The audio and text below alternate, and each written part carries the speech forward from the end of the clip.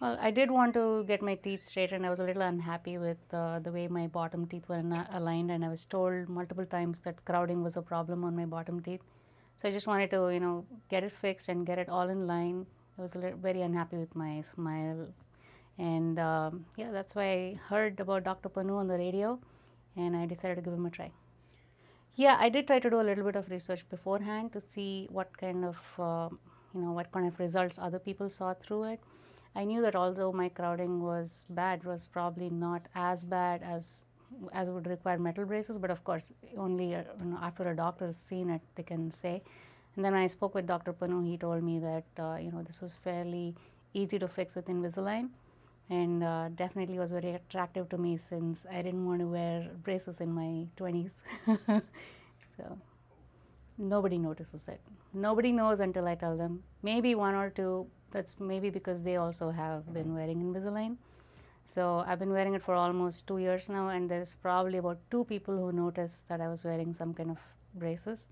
Otherwise, it's been great. Uh, I don't think people can tell when I'm wearing Invisalign. Actually, I'm wearing Invisalign right now, and uh, I don't know if you can tell. I'm pretty sure you can't. Well, initially, you know, when I was told that you have to brush each time, you have to brush each time you eat something, or you know, each time you try to eat something, you have to take it out. Seemed like a pretty, you know, cumbersome thing to do.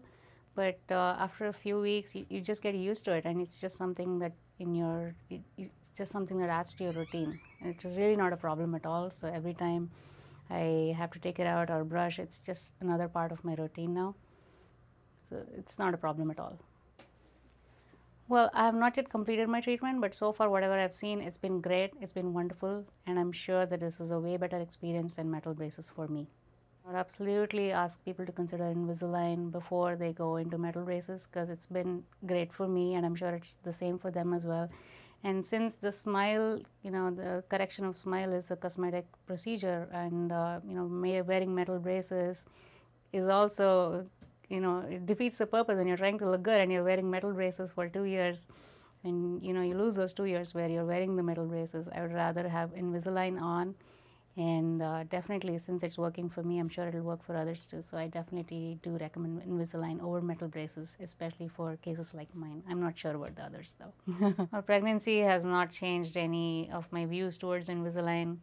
Yes i do have to eat a little bit more often and maybe brush a little bit more but